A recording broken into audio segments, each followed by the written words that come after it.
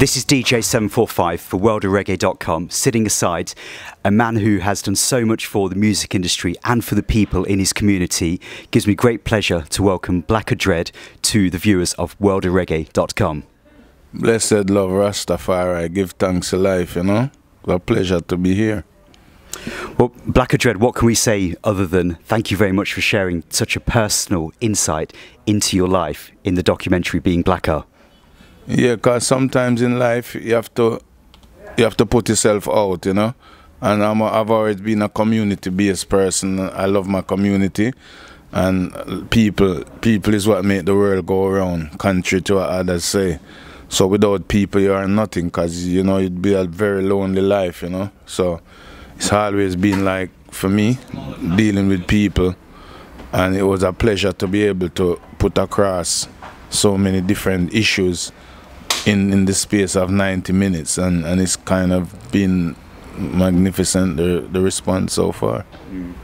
I mean, when I saw some of the trailers for the documentary, I was thinking, okay, here we go. This is going to be one of those once a year things that, you know, the national television does where they do like a little insight into reggae. But it was so much more than that. And I mean, from the opening scenes, you could see that this is documentary is a lot more than just about music, right?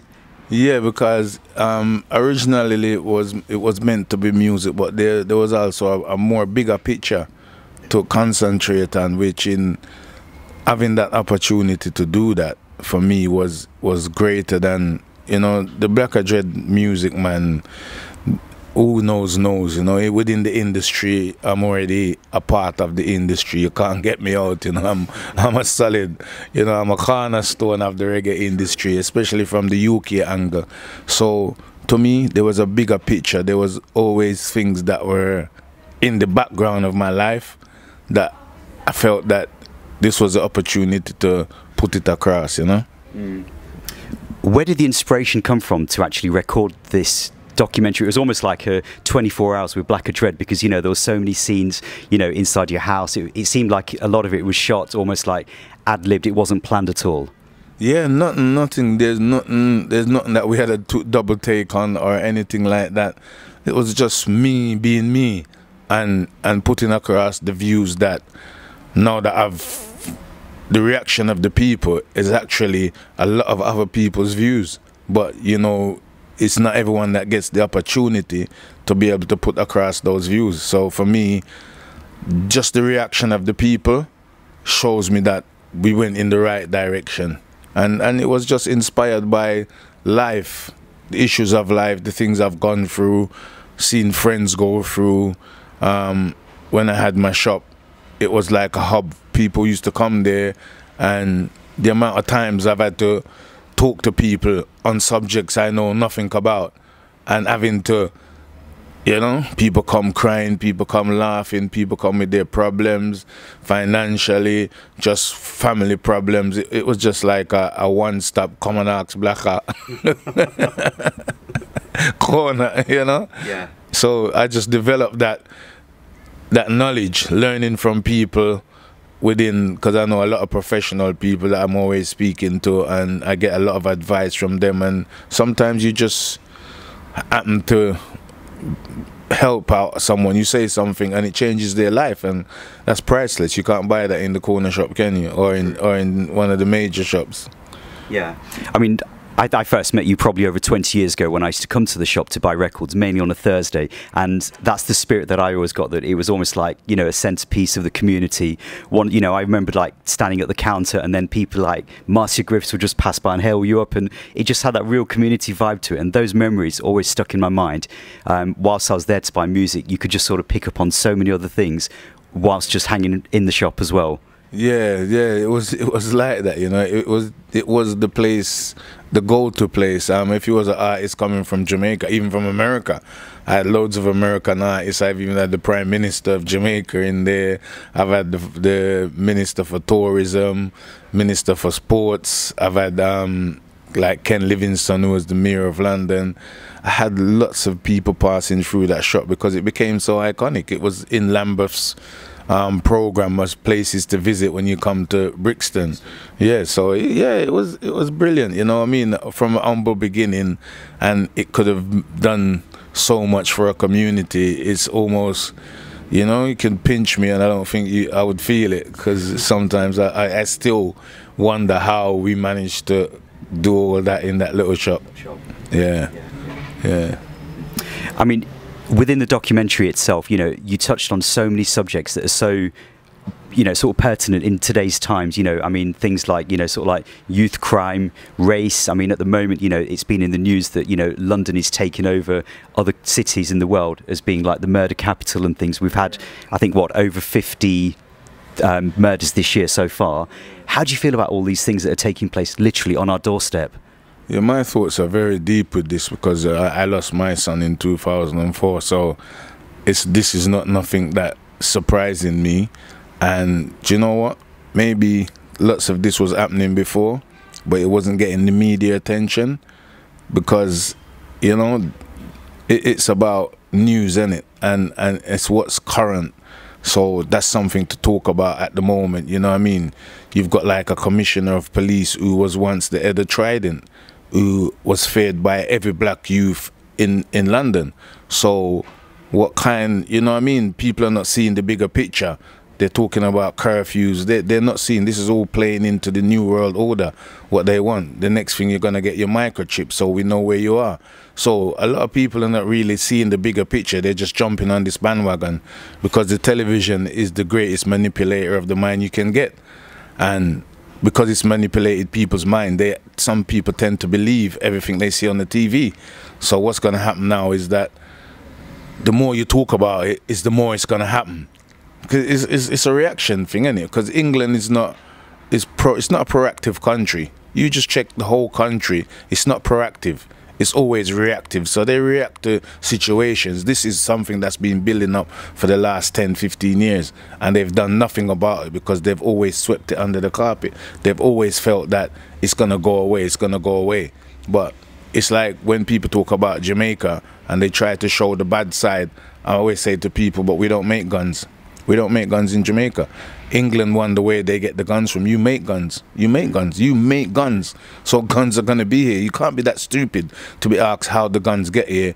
Of course, it's gotta get here some way, and they're made here. Um, they exported from here. They go away and they come back. Come on, people know. It's it's not dumb. It's it's, it's not really rocket science. But the peoples and the powers that be they try to keep things away from the normal from the public you know and, and the public get confused. They don't even know which way to turn. Very very true. So really what you're saying is that the fundamental problem lies at a much higher or deeper level something that maybe you or i are never going to be able to address. Yeah because we can never get to that position. And then one one of my pet hates is seeing people that are not really connected and when these situations happen, you get a lot of people that's disconnected and they're disenfranchised from the actual community and they're speaking for the community. It's one of my pet hates. People speaking for the community that know nothing about the community and speaking about issues they've never been there. You know, I mean, if you've never lost a son or a daughter, you'll never you you'll think about it and you'll feel it for them, but you never ever know until you've been there. And it, and it's not a great pleasure to be talking like this because I still miss my son 14 years. Mm. So I'm thinking about the people who've lost theirs last week or yesterday or the day before and what they're gonna go through. And 14 years later, I'm still grieving. So I know. I feel what they're gonna go through, and I and I've got empathy with all of them. But it's coming from a far place. It's coming from. It's it's they've taken away everything. There's no community centres. And one of the things I was trying to say, um, I was speaking to like Ed Miliband the other day at one of the screenings of the show, and I was saying, everywhere, every five minutes, there's a Tesco or a Sainsbury's or a Morrison's or a co-op. Yeah, when they when the when the councils give them permission to build all these wonderful and horrible looking buildings that they're building nowadays, yeah, why don't they put it in their contract that they have to build a community center as well? All these massive shops, they're the size of community centers. We don't even need that big space for a community center. So you could have dropped them, yes, at least there was one uh, back in the day. I always used to remember when I used to talk to the police back in the day, and I, I remember asking a policeman one day, "So why do you let all these shebeens go on? Why do you let all that happen?" And they said, "Well, at least we know where you are." And that was so. It was so clever. That to me, that was just it. They knew where we were, so they didn't have to go driving around the streets to find us because they know we was in that shebeen down the road. We was in that club down the road. So they've taken all that away. So now they don't know where we are, and now they're frightened. So it's not like I'm saying. It's not brilliance that's showing you these things. It's life experience. And those things are so easy to, to just check and, and, and see. You know where we are you don't need to find us. you understand? You don't know where we are. You're gonna have to run around like a headless chicken to find us. So give us places that you know where we are. True. I don't know. yeah. What sort of time period was that whole documentary recorded over? Well, originally, the first time when Molly came to see me, she was just actually excited by the Olympic Games in 2012. And I think she just thought, you know what, let me just go and check Black Hat. And she just came over. She wanted to see what kind of vibe was going on in Brixton. And that's when she first came over and she, the day when Usain Bolt was doing the 100 meters. And she came down and there was a few people, quite a few people at the shop just watching the watching it and just trying to build a vibes because we couldn't get into the Olympic Stadium no matter how we tried. Um, so we just we were at the shop and people just kept coming and stopping and she came there and, and saw a crowd she filmed us and then we just began talking. Then we lost track again for about another year or so. And then when my mum passed I, I rang her up and said molly um, my mum's passed away. Um, could you come and do do this for me? Because I'd done my son's one but when I look back at the quality the quality wasn't that great and this was my mum. This was the woman that you know i mean? This is my heartbeat. That's me. That's my mum. I'm my mum. I, I, I, am my mum. And I just wanted to have something that was so good because the, the actual funeral is three and a half hours worth of footage that Molly's got. Um, so there's only clips that was seen in there but the actual DVD that she done for us is so brilliant. That could be a documentary by itself. And um, that for me, I couldn't have done no better. I got a top top person who's also a friend who didn't charge no money and gave me the best quality that I could get. You know what I mean? You couldn't, you can't ask for better. Yeah, great. You know. And the Molly that you're talking about, you have history going back back into the early 80s because I think you first met her during the Sound Business documentaries. Yeah, in 81, 82, you know, and we done that Sound Business and I mean, she done it as a student documentary. And I was speaking to one of her professors, and, and um, her teacher wanted to chuck all that away. And, and and the professor told me he said I watched it and I thought it was magnificent. So he told the, the teacher just let her do what she's doing, and it's become one of the most iconic sound system documentaries out to build speaker boxes, string up sound, just for people to see. We're actually trying to um, re-record it like get better quality enhance it. enhance it because it was done like she says on the cheapest format you could get yeah. as a student yeah. back then but it's all over the internet but we're trying to clean it up. I've seen a cleaner version which looks a lot better but I think she said it can be done better as well mm. yeah and I mean back then in the early 80s that's when you were moving with a sound called Coxsone yeah. And, you know, that's probably the sound system where a lot of people that are probably watching this today know the name Blacker Dread from. So give us a little bit of an insight into how did you, as a youth, get involved with Coxsone? Well, I, I, I, used to be with a sound called ITL King just up the road from where we are now. We're in Brixton now, and um, I lived in Tulse Hill. And a friend of mine, Derek, and, and a few of his mates, they built a sound called ITL King because there was other sounds like Whoppy King, D. Roscoe, um, Count Tom, little small sounds in the area. So they built a sound. We had about seven speaker boxes. We used to play all around Annalee, all around the area and stuff like that. And um, but they were all fans of Sir Coxsone. They were mad Coxsone fans. They were not like just having a little sound was having a little sound, but you always also had your sound. So Coxsone used to come and play where we lived in the house dances around where we lived. He used to play in Shepherd's Youth Club on Railton Road in Brixton, which was known as the front line. And um, and down there was another place on the front line called Cons. Coxsone used to play there every Monday and Tuesday. Then you had the big um, church in the middle of Brixton there, St Matthew's, used to be the crypt, and Coxsone used to play there on a Wednesday and then Coxsone used to play down in Stockwell. So Coxsone was the sound. The sound. They, they, played every day. As long as you wanted to go to a dance, you could go to a Coxsone dance, man. That was oh my gosh, that was magnificent. Um, just what, what, sort of year was this? Was this in like the late? This 70s? is like um, I was going there from like 72, 73. Wow. 74, 75, then 76, I ended up joining Coxsone. I was going Coxsone when I was a little kid. I used to go to Brockwell Park when Coxsone played there on a Sunday. They used to play all night, and then after playing all night, these guys was going to play football matches against other sound, sound systems. systems. That was how competitive it was. they played all night, then they went and had football matches against other sounds. It was brilliant, and and that was where the love and the unity came from. That's where we knew how to love each other because we all became massive friends and majority of us are still friends up to today who, who is still alive we're all still friends yeah so that was that was just magnificent brilliant and and and a great leveler and and that's how I, I started to become a Rasta man from then because Coxsone Sound was classed as a Rasta sound where the teachings was love, unity, no war, no drugs, no alcohol, nothing like that. We were all teetotal, straight, born with weed, and that was it. That. And just give thanks to Jah, Rastafari, and, and that was our life. We lived that life every single day.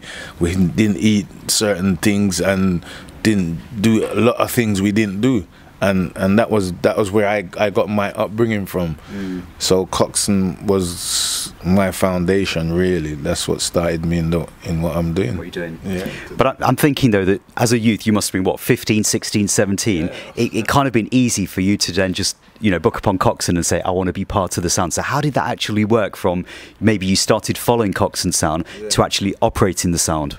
No, well, one day I was walking in Brixton on Cold Harbour Lane and Coxsone had a record shop at the front of the market at the time.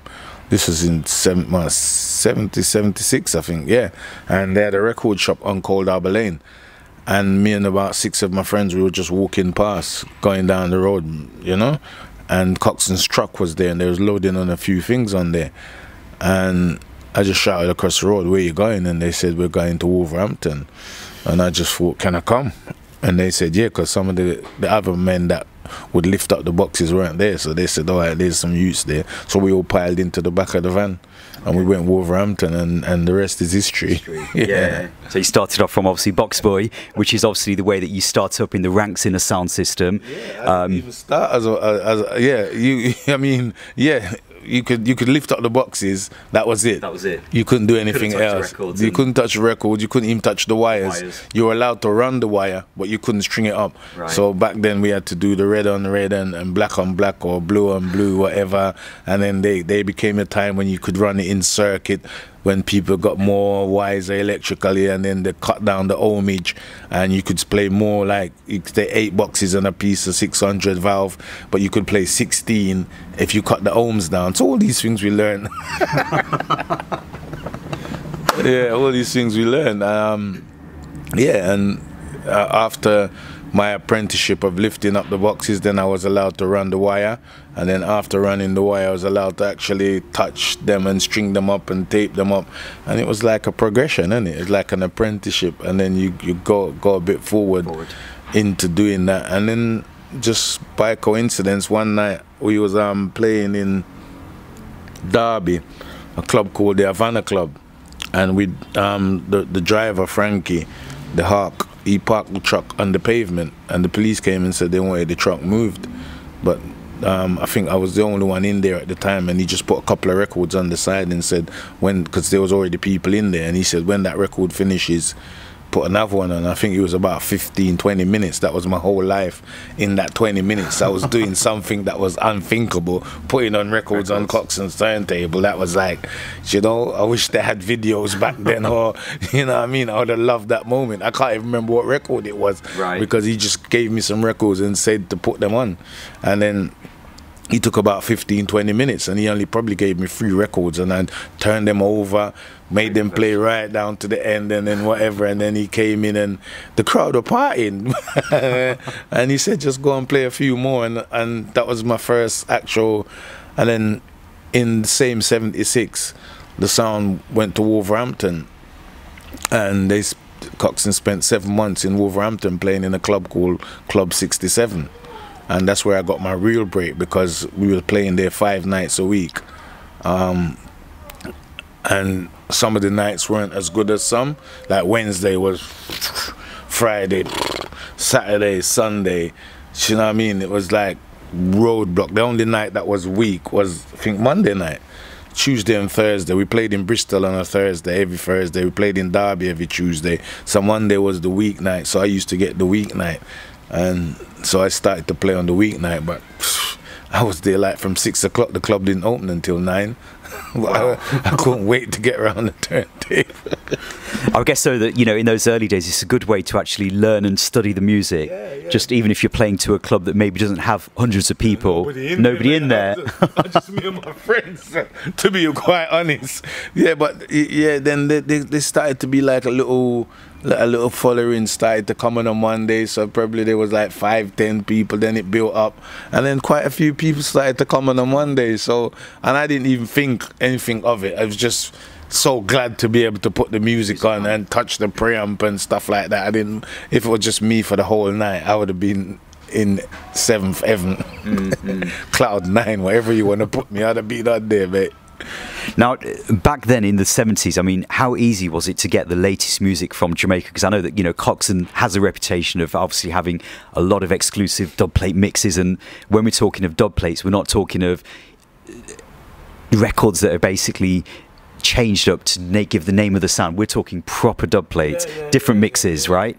Yeah, man, that that rubbish there, that that stuff about your sound is the best, best. this that. I think that helped to smash the reggae music. I, I personally think that that is one of the major major obstacles in the in the advancement of reggae, when, because before you didn't play records with the name of your sound in it. If you did, it was like, oh my gosh, this got Coxsone's name in it. But now it's become so even radio DJs, people who don't even have a sound, people who have cars, who have car clashes, they got enough money to pay a DJ, he'll do a tune. Back then, that was never the case. You would never get certain people singing, just singing like that. Like that. Just for, you know, but the, the business changed, so it's, but you know, back then you got tunes and you, you'd get your tunes mixed especially we had Gussie Clarke as, as our dub cutter and he was a up and coming wicked engineer engineer at Tubby's Channel 1 he had his own dub cutting machine at his house and he had his own little mixer and he would get the tunes and he would when he's while cutting them he'd put extra sounds in them. So those were all exclusive only played by Coxsone and we used to say this one only played by Coxsone in the whole wide world because when you got a mix it was your, your mix. mix. and nobody else could play that mix so it was a world exclusive. And but nowadays, say for instance, say Junior Reid or Half Pint, somebody like that, he'll sing the same song for 150, 200, 300 sounds, and everybody says they got an exclusive because it's got your name in it. Huh? Excuse me, I would prefer to get Junior Reid to sing on the same rhythm, not call my son's sound's name, yeah, and you can't play it. That's what's an exclusive. I've done that. I've, I've even done it with Fred Locks. I got him to do all of his specials that he does for every other sound, and I got him to do it without calling Blacker or the sound name. But he's done. He's redone it on new, up to date style. But no one else in the world can play them. Only me. Right. So that's what I call a real exclusive. That's why when I produce my music, I always mix a cut for Coxsone. So I've got an album called. Um, Many Moods of Blacker, and the mixes are on that. All the mixes that I saved because I've always done extra mixes. I just grew up with the mentality that you got to have something exclusive. exclusive. So even if I'm listening at home I'm not listening to the one that I released. I'm listening to the unreleased one because why am I listening to that one? I can listen to that anytime. Anytime. But the unreleased one is unreleased and that's exclusive. So I've still got that mentality even when I'm playing music at my house. I want to play. If there's a Dennis Brown and there's a released Dennis Brown and, and I've got the dub one, I'm not playing the, the released Dennis Brown. I'm playing the dub one one. because that sounds exclusive. It sounds different from what I go out seven nights a week and hear on the street. I'm, I'm just that kind of a person. I grew up on Coxsone, and Coxsone was an exclusive sound, exclusive dub plates, exclusive artists, exclusive rhythms. I used to make rhythms. The first session, studio session I ever done, making my own rhythms, were for the sound. It was for the 1984 um, Rasta Christmas, a live dance. We was gonna do it Sugar Minott, Don Carlos, Junior Reid, Goldilocks, Mikey Dread, Earl 16, and the Coxsone DJs. That was my first bout into actual making rhythms for myself. And it was just made for the sound. And I made 24 rhythms for the sound. And we had artists singing on them. And they weren't singing about Coxsone Sound, they were just singing tunes. But they were exclusive tunes that nobody else in the like Fire There Most Must Stay, Frankie Paul. I was playing that for like two years because I made it and no one else couldn't play it. So when I played, I used to say, As I rise, I play. You know what I mean? No guy can play. Play. If you play this here, I mash up the sound. I used to have this hammer, and I would have the hammer next to me, and I said, I say to them, if you can play this one that I'm gonna put on the turntable now, yeah, I'll smash up the sound. Yeah, I, I was a cheeky bugger when I was playing sound. They couldn't test me. I would play songs that I know you cannot get. I had producer friends that would give me songs that nobody else. I used to be in the studio with like Exterminator Fatis, and I would take exclusive mixes off of his tunes that not even he had. Songs like Greetings, Half Pint. We recorded that tune in Tooting up there. Um, you know, greetings I bring. Yeah, oh, yeah, yeah. yeah. The rhythm was played by Sly and Robbie. Um, it came up from Jamaica with just the drum and the bass. Half Pint was here doing some stuff with George Phang, his producer, and they wanted to voice Half Pint. We went up to the studio. Half Pint voiced that. Frankie Paul voiced Alicia, and um, it was Andy. The, the engineer that played the guitar, diggy diggy diggy diggy diggy diggy. It was Andy that played the guitar. So the mix I had a mix as soon as Half Pint finished to record it. I mixed it. I got Right. chemists to mix it right there and then. So that mix went straight onto my cassette and straight onto a dub plate. And up till this day, that mix is the exclusive. We had two mixes. The one that came out on 45 was one of the Coxsone dub mixes that Right. came out on the actual 45. But people don't know that because we pressed that tune. But if you don't tell people these history, they'll never know. But that hmm. song was made in Tooting right up the road there, mate. Wow. I never knew that that was song made in Tooting here, literally down the road from where we're reasoning today. No, most people know that, but you see, that's those are is those are stories that we have. Those are our stories. That's not history. History will tell you something else, and they will bend the truth. But we know the truth, and we got proof. We got the people that were there. We got the engineers that made it. The engineer that played on it, because because even though they had a studio engineer, we had Peter Chemist, because Chemist was here with us, and Chemist w- recorded it and mixed it. So we always every tune when I done my nitty gritty album, I had dub mixes. Only Coxsone could play. Sugar Minott, only Coxsone could play. Don Carlos, only Coxsone. Even though I released them, the mixes that we played were exclusive. Exclusive. And that's what a dub play is. I don't know how the thing became so dumb that people thought that when you played, and because you're saying John Tom, John Tom, John Tom, every single record. Oh my God, put me to sleep. Why do you think people don't go to those dances? Dances. Why do you think people get bored? Because they're not hearing, they're turning real positive songs into a negative by putting your name in it. Mm. And I just think that's that's crap. That's what that's what is one of the downfalls in our music right now. Too many people are being egoistic and, and because they want their name in a song. Do you know what I mean? You got people who don't even have a sound who pay people to to sing songs for them. What what's the point? What what are you gonna do with it? Just to play it to your friends so you can show off. You're gonna pay hundred pound or two hundred pound for a song to play it in your house. All right, you got the money. Respect. Do it. Yeah, I mean, you know, with the dub plate things nowadays, you know, you you know, you can get dub plates through Facebook. You know, you have so much artists sort of saying, "Link me in the studio today" and things, and you know, the actual sort of like the real reason or the background of dub plates. We seem to have lost that. Yeah, man. There's no, there's no cohesion to the thing now. It's just people. You got dub plate artists. You got artists who only sing dub plate. They sing a song so they can they can make a dub plates off of it, and it's never ever released. And the dub plate becomes more popular than their song. So how is that? How do they make money out of that? When the, because they're making more dub plates, or your royalties over 20, 20 year period of time is still gonna out, outlast your dub, plate money. So sharing some history about dub plates here, live and direct with Blacker Dread in Brixton. Now, you mentioned a couple of names earlier on, um, George Phang. George and, Phang, yeah. and Fatis. Yeah. You seem to have a very close link with those two producers. man. Tell me about working with people like George Phang for Powerhouse and Fatis. Yeah, they, they, they were my brethren. Those are my proper, proper brethren. Not friends, not mates, not pals. Brethren, hygiene. You know that? I mean, when when they were here, they would stay at my house. I go to Jamaica, I stay at their house. So it was much more deeper than just putting songs out. George Phang was already a record producer, and I was just an extension of helping him to put out his records in the UK because I showed him that there was, although you're getting paid in Jamaica for putting out records, I can put them out in England and pay you three, four times the amount that you're getting in Jamaica. So he gave me the opportunity to do things like that.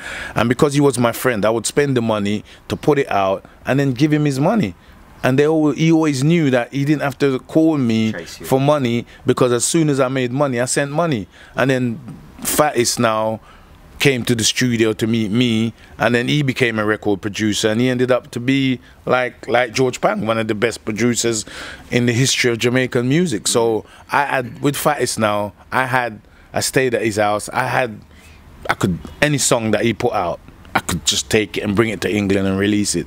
I would he would say to me, "What do you want? What do you like? Is there anything that you're hearing?" So when I go down, I would just put in all the dats and I would listen. I say, "I want this, I want this, and that," and I bring them home and I release them. Even some of them, what I used to do was to press them in Jamaica and bring them up exclusive for my shop.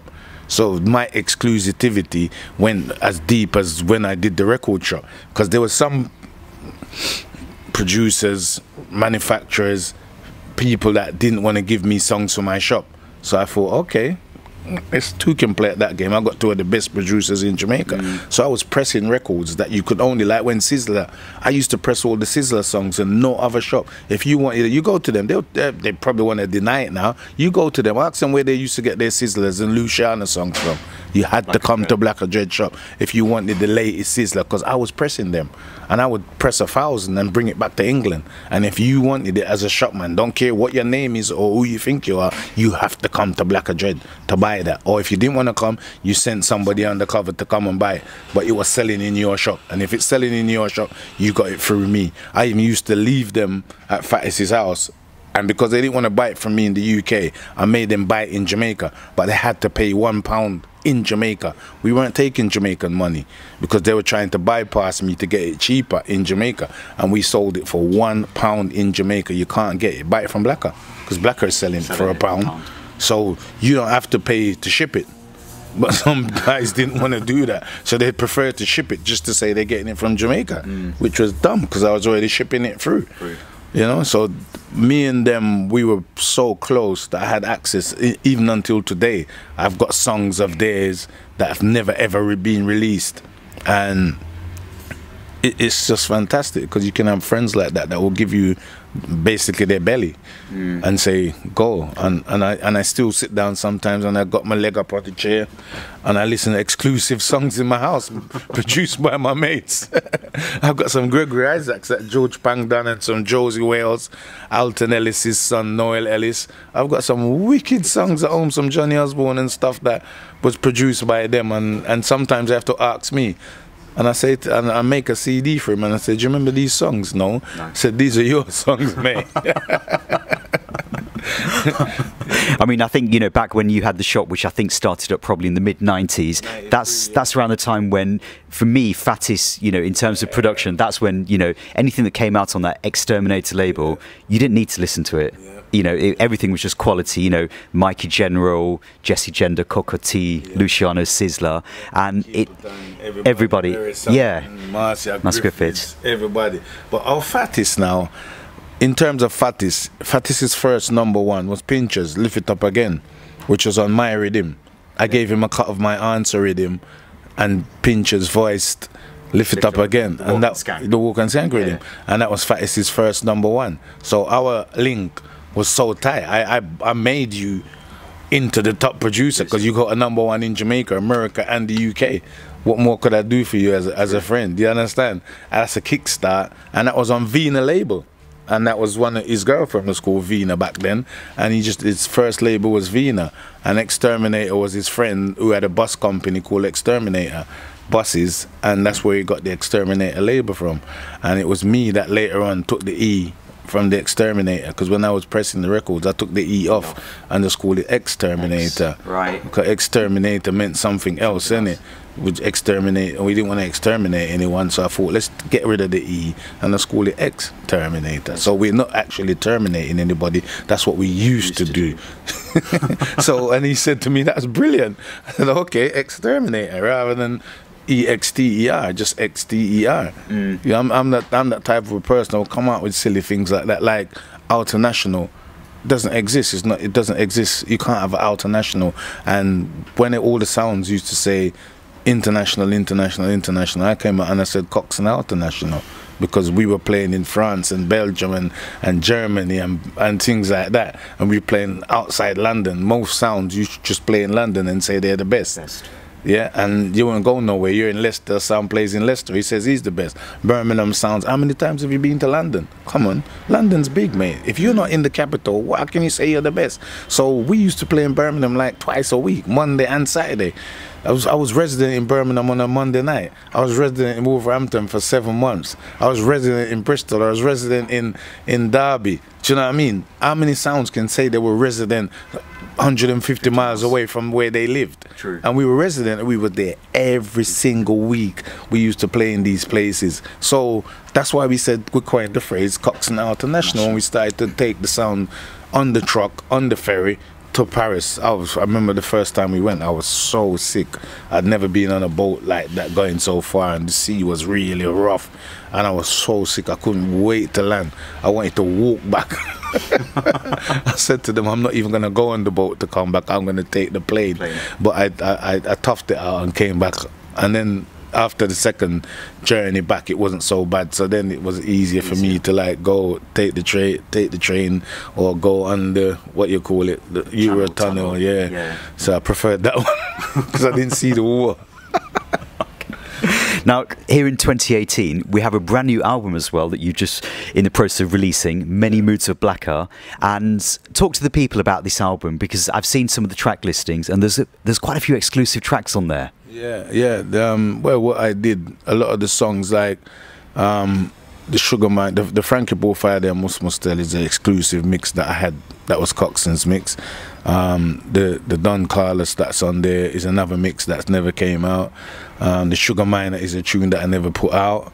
That's the Now That I Found You. I right, okay. that was my first song that I recorded with him in 1984, and I never ever released it. The, um, never released that song from Yeah. 1984. Yeah. Wow. I just played them for myself and played them for my mates and on the sound. So things um like the Dennis Brown and Frankie Paul, that's actually a special.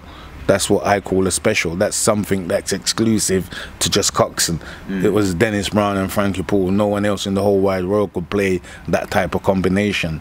And for us to get them in the studio, it was me and Fatis that recorded that song with Dennis Brown and Frankie Paul. And I just said to Fatis that I'm going to put out an album, Many Moods of Blacker. And do you know what I mean? Do you mind if I put it on the album? And he said no, because it wasn't really our. It wasn't like Fatis production or my production. It was just we just bought them in the studio. Yeah, yeah. And I just said to him, I, would like to put that on the album, and it came out. The Jack Radics on there, and Chant Down. Those songs never came out. Um, the Luciano did, um, but I still used different mixes from the one that went out.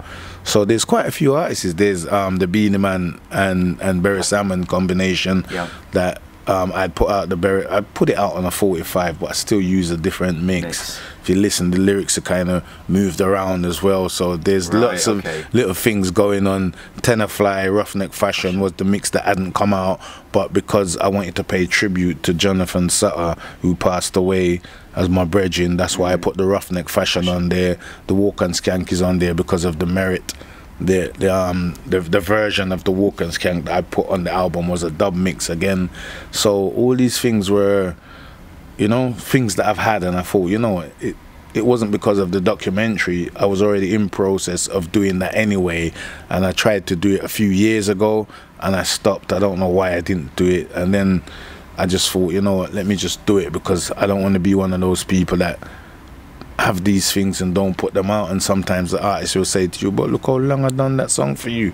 How comes you ain't put it out?" out. So you know, and you know, I got an album with Jack Radics Okay. because I was one of the first persons in the whole wide world ever to record Jack Radics. I knew him before he was a singer. Um, I've got an half an album with Junior Reid. I've got an half an album with Josey Wales. I've got a full album with Anthony B. I've got an album with Leroy Gibbons. I've got some uh, half an album with Freddie McGregor. I've got songs with you, Roy. I just got songs that I've just been recording over the years, and I'm, I'm always been in the business. I don't ever stop recording artists, and if I've even got UK artists that I've been trying to record, like Sylvia Tella, Vivian Jones, and you know Mikey Mystic. A lot of them, Mikey Foreigner. A lot of artists, is Junior Chin, that I'm recording.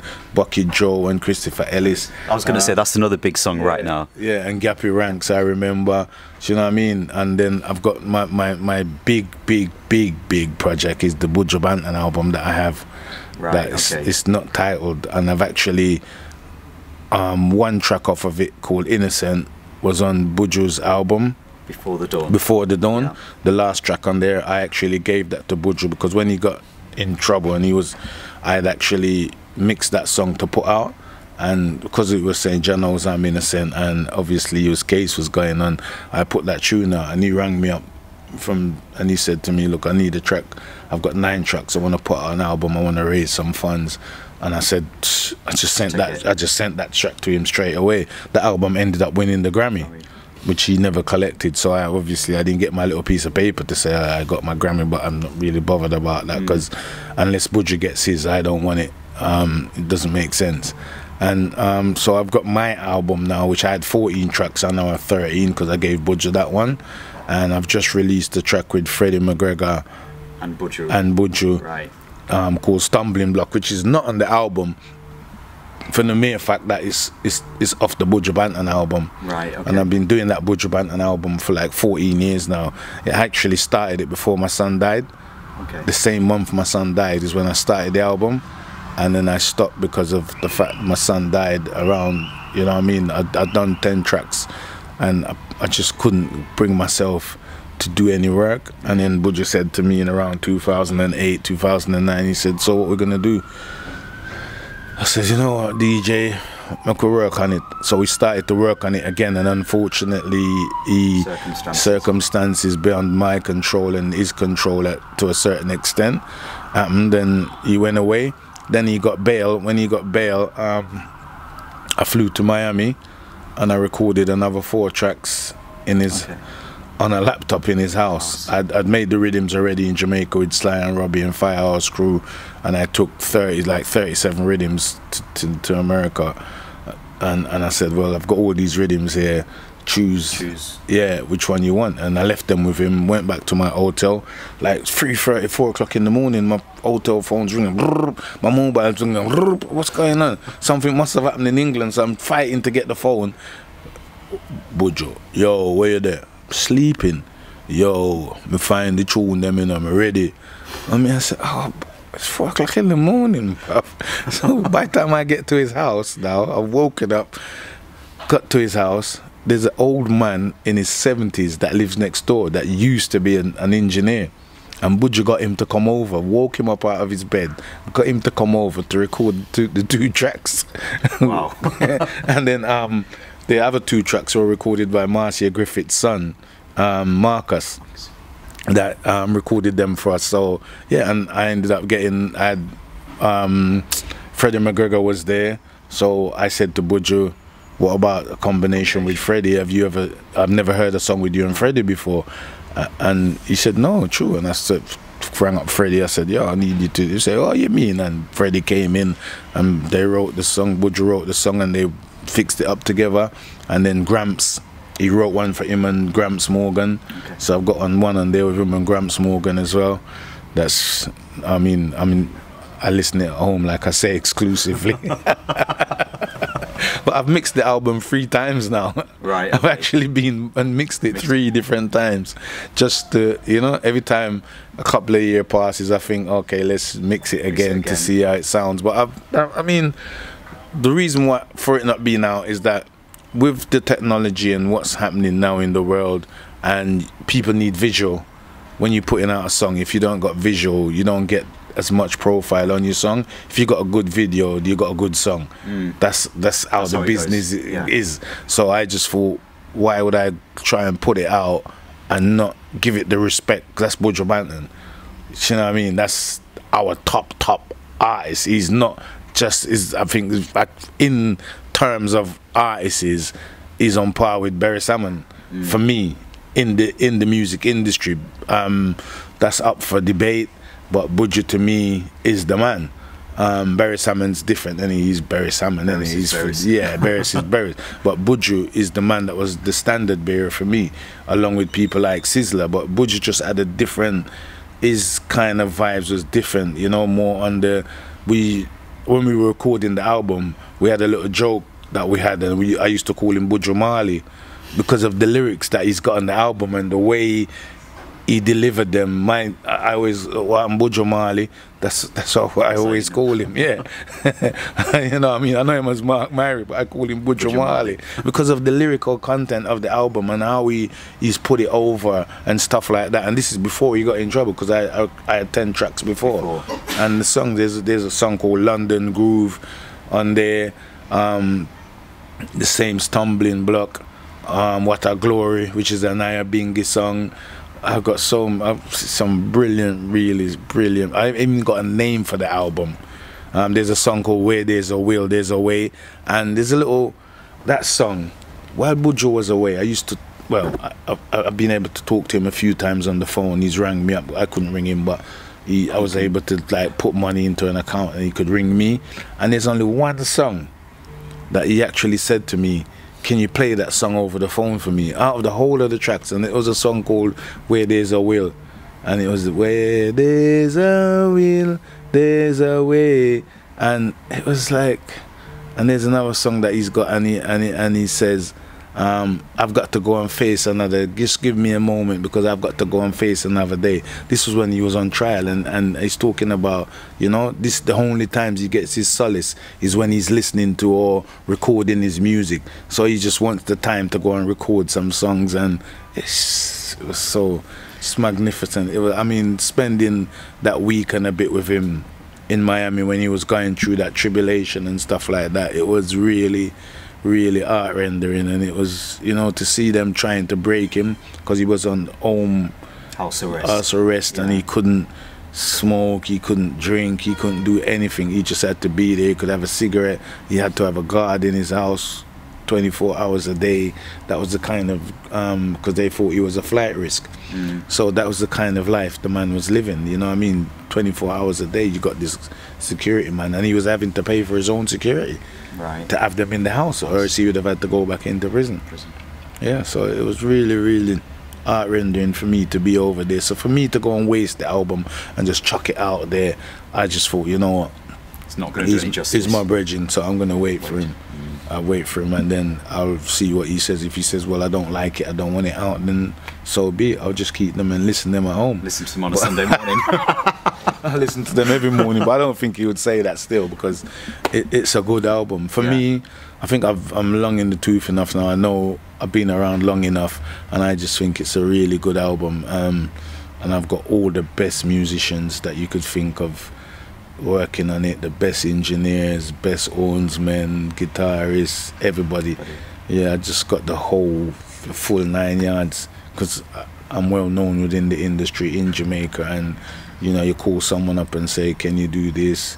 It's recorded at Barris's studio, Tuff Gong studio, Mixing Lab studio, Mafia and Flux. We had, I had a little studio in Brixton here that we started to record the songs. The, the first ten songs were recorded in the studio just on Somerleyton Road there okay. that we had me and Rambo had a studio around there and Ja Wipes who used to work at Mixing Lab as our engineer he recorded the first 10 tracks and like I said, we did the other four at Buju's house Wow. in Miami. But the, the and then we just bounced the voice back onto the the Pro Tools, and yeah, to me it's a brilliant album, and and that's why I couldn't afford to waste it. Mm. But my other album, The Many Moods of Blacker, is is exactly what it is, just many moods, different different productions, you know. What you have to do is listen, because I'm I'm the type of person that I deal with instrumentations and I deal with you know, you have to put the things together properly. Some people just think I got drum and bass and a voice and they go and mix it. No, there's lots of other little tweaks, Tweaks. percussions and guitars and stuff like that to give it that I call it industry standard because I look at Bob Marley's um, catalog and I see that's the industry standard. So, you, so if you can, That's what you got to work yeah, you got to yeah, you work towards the standard of like the Bob Marleys, the Dennis Browns, the Gregory Isaacs, the type of quality that was coming out from those producers that were producing those songs was you know it, it was, it's just a different level, Yeah, like, it's. Just, it's just brilliant. I don't even know how to explain it, but it's just separate from what everything. So for me, it wasn't just about trying to. All right, I'm living in the UK, but I don't I don't really talk about UK reggae because it's impossible to have. You can't have UK reggae. That's just the slave ma- master's mentality coming in, trying to take away something. It's like Christopher Columbus, is it? Went to Jamaica, saw people there, and then he's come back and said, "I've discovered Jamaica." How do you discover something's there? If that chair is over there, someone didn't put the chair there. True. Do you understand? So I walk in now and I hold the chair up and I walk around the royal and said I discovered this chair in Brixton. So how did it get there in the first place? So you didn't bring the people to Jamaica. So you didn't. You're you're, you're a liar. You didn't. You didn't discover anything. It was just. It's just for historical facts. This is what I said. His story and our story are different stories. So the history doesn't necessarily mean it's the truth. Mm. It's just been. It's just what's been written down. But the real story is when you go to the real people and you ask those indigenous people, and they say, "Well, my great, great, great, great, great, great, great grandfather was here when Christopher Columbus came. So what? He discovered me as well." Do you understand? So it's it's the same thing with reggae. People in the UK always trying to say UK reggae or lovers rock. John Holt was singing that type of music long before anybody started to make them kind of music. When Louisa Mark's tune "Caught You in a Lie" was made, it wasn't made as a lovers rock tune. It was made as a reggae tune. When Sugar Minott made "Good Thing Going," it wasn't made. It was made in the UK, recorded and made in the UK. He didn't make it as a lovers rock song. It was just a coin. There was a record label called Lovers Rock, and everybody jumped on the name Lovers Rock, and then it became a genre of reggae for some reason. It's like um, dancehall. Dancehall is a place you go to dance. Just check it. Dancehall is a place you. You dancehall cannot be a, a music. Impossible. It's a place where people go. If you rent the town hall and you put a sound system or a disco in there, that's a dance hall. People used to go and do the waltz and whatever in a dance hall. So dance hall is not even a genre to me. It's just a name that people have adapted and tried to make it into something that it isn't. But for me, reggae is reggae. Whether it's DJing, whether it's dub, Dub, whether it's whatever roots, it's all one music. And from the powers that be are able to change that and then manipulate it and call it what they want because they want to section it off. Because they want this piece for themselves this people want that you know what i mean? So i'm going to take it over here dance all these and then we got all these other people and then they're talking all kind of crap and they're saying x-rated stuff and derogatory stuff and so we're going to push it over there. But that's what the big companies are promoting. That's what they were promoting. They're not promoting promoting because they didn't have another Bob Marley, so they're not promoting roots and culture. They're not promoting the music that's sending a message to people. They're promoting the music that's saying crap to people. And then now the kids are doing crap. People are trying to say, well, it's the music. No, it's you, the powers that be, that put that music in that in that corner for the people in that corner to listen to. Because the the, the majority of the people are not listening to it. They're not going around killing each other.